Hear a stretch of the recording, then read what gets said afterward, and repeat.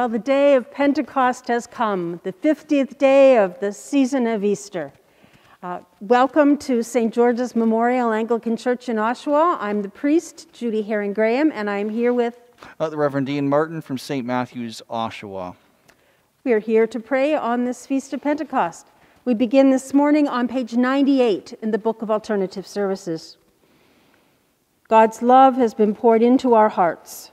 We dwell in him and he in us. Give thanks to the Lord and call upon his name. Make known his deeds among the people, Sing to him, sing praises to him. and speak of all his marvelous works, Holy, holy, holy is the Lord God Almighty.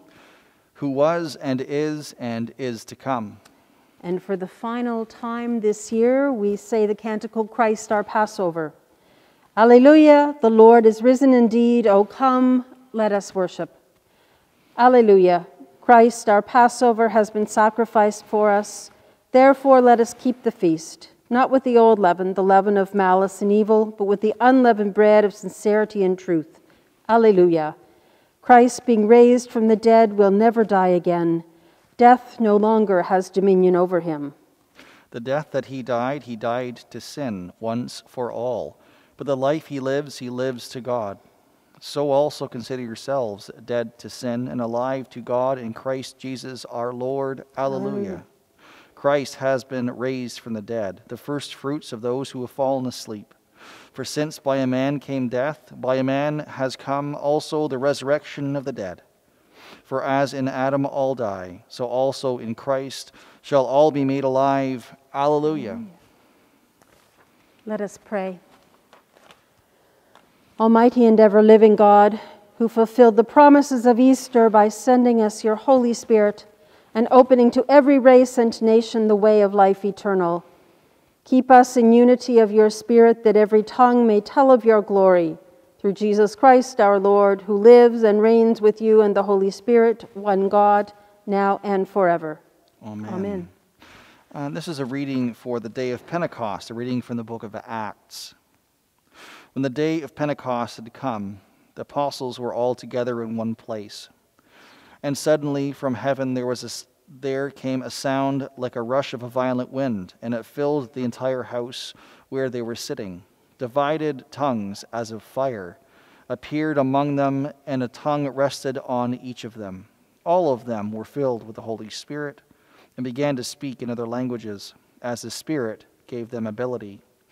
Now they were devout Jews from every nation under heaven living in Jerusalem. And at this sound, the crowd gathered and was bewildered because each one heard them speaking in the native language of each.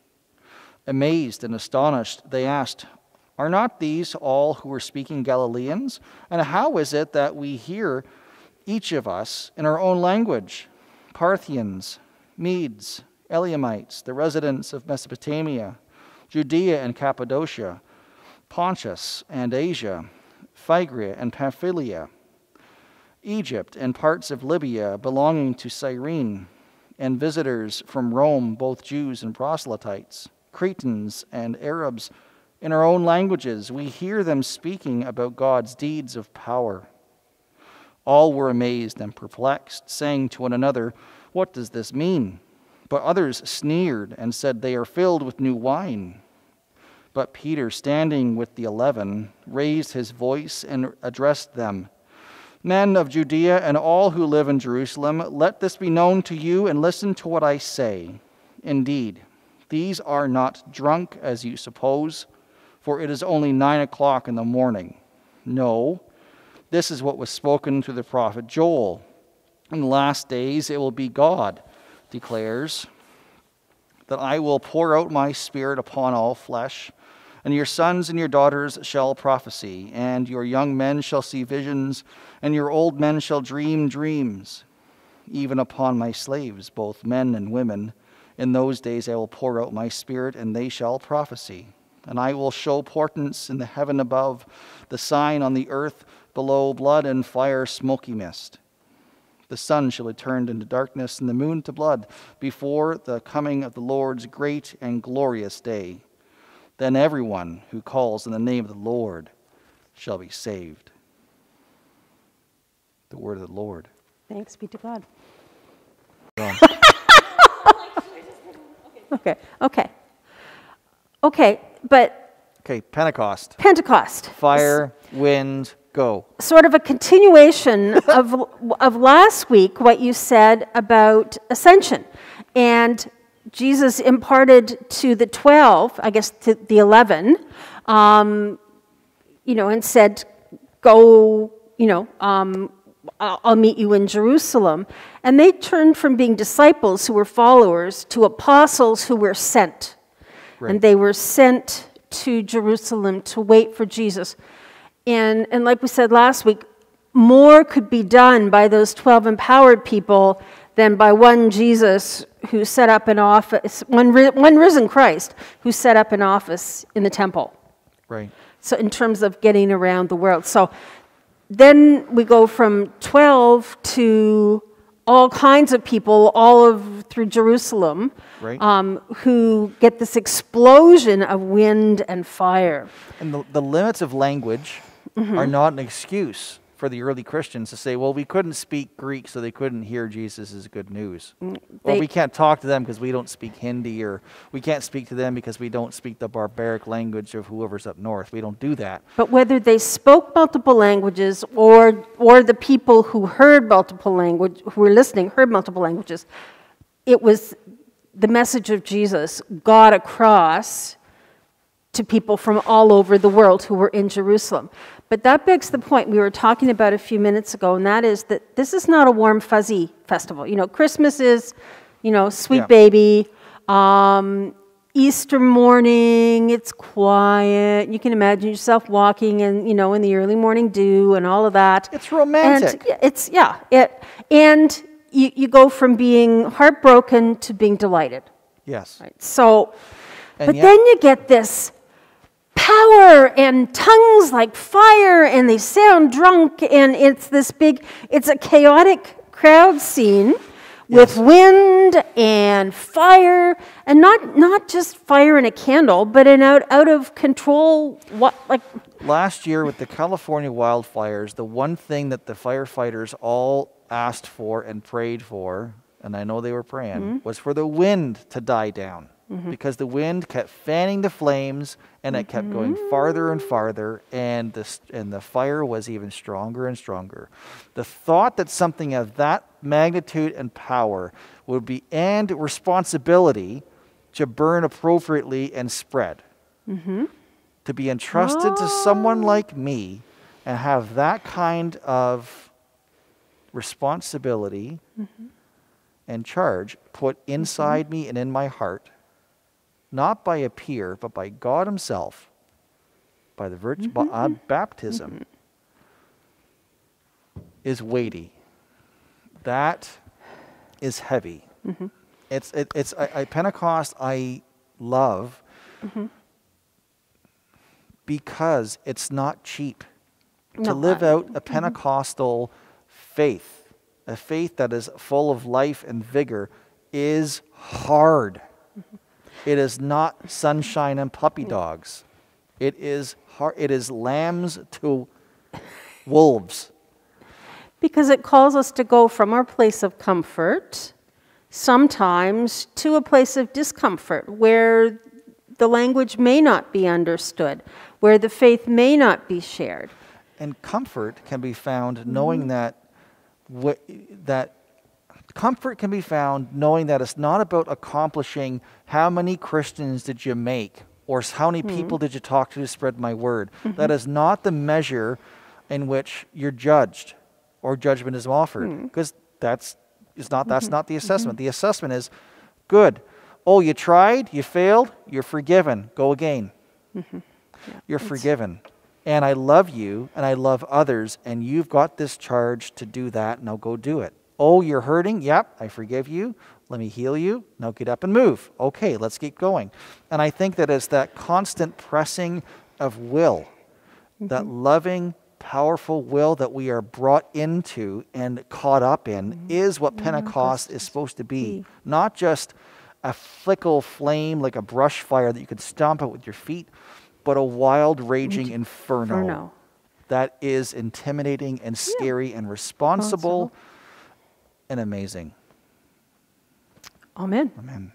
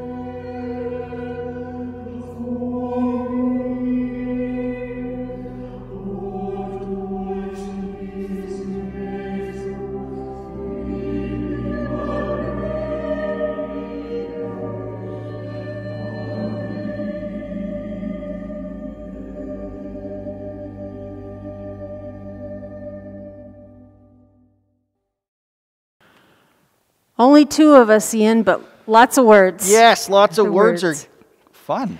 We continue with our worship on page 52 of the Book of Alternative Services, reciting our faith in the words of the Apostles' Creed. I believe in God, the the Father Almighty, creator of heaven and earth. I believe in Jesus Christ, his only Son, our Lord. He was conceived by the power of the Holy Spirit and born of the Virgin Mary. He suffered under Pontius Pilate, was crucified, died, and was buried. He descended to the dead. On the third day he rose again. He ascended into heaven and is seated at the right hand of the Father. He will come again to judge the living and the dead. I believe in the Holy Spirit, the Holy Catholic Church, the communion of saints, the forgiveness of sins, the resurrection of the body, and the life everlasting. Amen. For the intercessions this morning, the response to the bidding we pray to the Lord is send your spirit into our lives. Send your spirit into our lives. Let us pray for the church. Spirit God, who orders all for the common good, fill us with your Holy Spirit that we might proclaim your word boldly and speak the marvels you have accomplished. We pray to the Lord. Send your spirit into our lives. Let us pray for every nation under heaven. May each of us hear in our own tongue the message of peace and cooperation and be glad in your works. Let the glory of the Lord endure forever. May the Lord be glad in his works. We pray to the Lord. Send your spirit, Spirit into, into our, our lives. lives. Let us pray for all who know poverty. Come, Father of the poor. Come, Giver of God's gifts. Come, Light of every heart. We pray to the Lord. Send, Send your your Spirit, Spirit into, our our lives. lives. Let us pray for all who serve God in the church.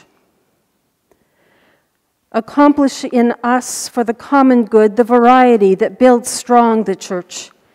Give different gifts in the same Spirit. May there be different ministries, but the same Lord. We pray to the Lord. Send your Spirit, Spirit into our lives. Let us pray for those who have died. Have mercy on the beloved, for if you take away their breath, they perish and return to the dust.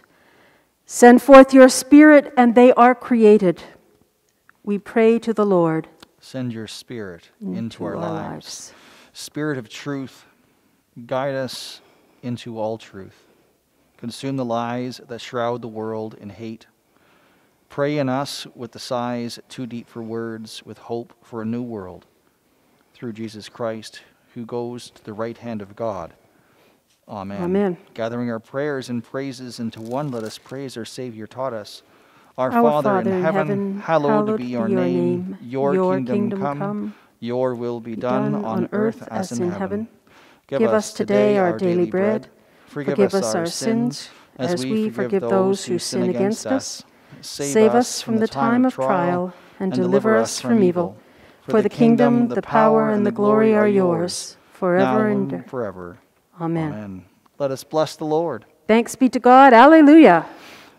May the grace of our Lord Jesus Christ and love of God and the fellowship of the Holy Spirit be with us all evermore. Amen. Amen.